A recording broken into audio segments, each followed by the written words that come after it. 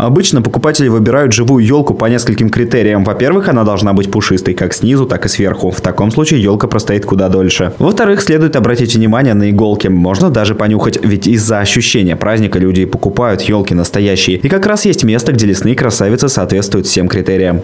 Наши елочки э, срезаны совсем недавно, вот, что позволяет возможность им дольше храниться. Наши елочки э, самые пушистые в городе. Я ездил, смотрел по городу, то есть наши самые пушистые. Кирилл Чернышов рассказал, что елку не стоит сразу заносить в квартиру. Нужно дать ей постоять час или в подъезде, или на балконе, чтобы не было резкого перепада температуры. Тогда она простоит на порядок дольше. На торговой точке представлены елки высотой от полутора до двух метров. Цена за такую от 999 рублей. И при покупке есть несколько бонусов. У нас осуществляется бесплатная доставка, то есть вы можете прийти к нам на точку и выбрать любую елочку, и мы доставим ее до вашего дома совершенно бесплатно.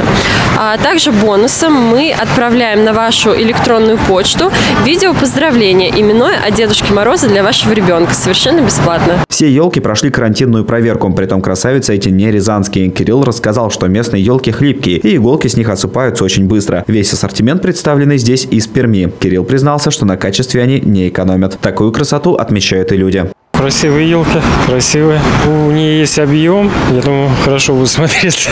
Очень-очень симпатичные, естественно. Как бы такие все масштабные. Они все такие яркие, такие пышные. Видно, что пушистенькие, ровненькие. Все вроде на месте, иголочки, как положено, как в лесу. Торговая точка расположена у ТРЦ «Премьер» справа от главного входа. Притом не обязательно на место приезжать. Можно заказать доставку по телефону, описав необходимые параметры. И елку доставят вам домой совершенно бесплатно. Валерий Седов, Станислав Кудряшов, телекомпания «Город».